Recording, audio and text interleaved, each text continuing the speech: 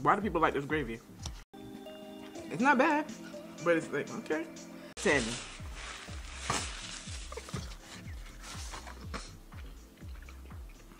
It's not bad. Not bad. Again, it's a big hype about it. It's something different, okay? Been there, done that.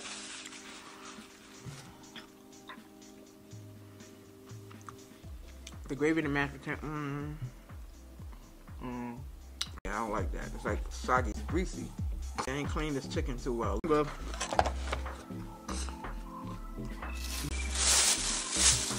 mm, I'm good. But why y'all like this gravy? I don't know why.